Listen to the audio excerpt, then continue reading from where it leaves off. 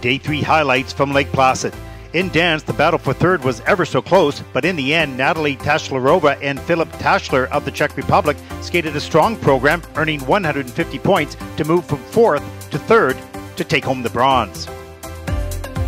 Presenting a much improved technical and overall quality in their program, Diana Davis and Gleb Smolkin of Russia earned 160.17 to capture the silver and skating to the beautiful classical piece Piano Concerto no. 2 by Rachmaninoff. Avonley Nguyen and Vadim Kolesnik of the United States skated with a special maturity and elegance that earned them a 170.80 as they own the gold.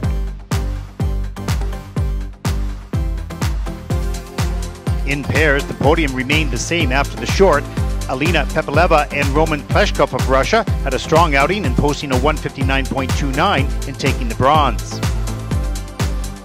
Xenia Akhanteva and Valery Kolesov of Russia were superb in earning a 171.19 to capture the silver.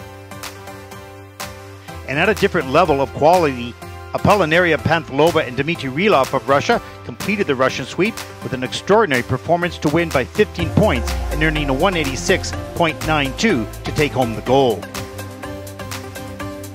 In ladies, it was a tight battle for podium positions 2 and 3 skating a perfectly clean technical performance and climbing from fourth onto the podium, Anastasia Tarakanova of Russia produced a 179.29 to capture the bronze.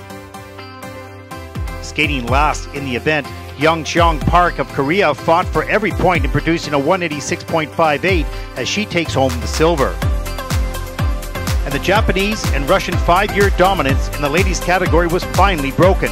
Alysa Liu of the United States landed a triple axel, followed by a wonderful quad lutz, and skated a sophisticated and charming program to earn a 208.10 as she wears the gold.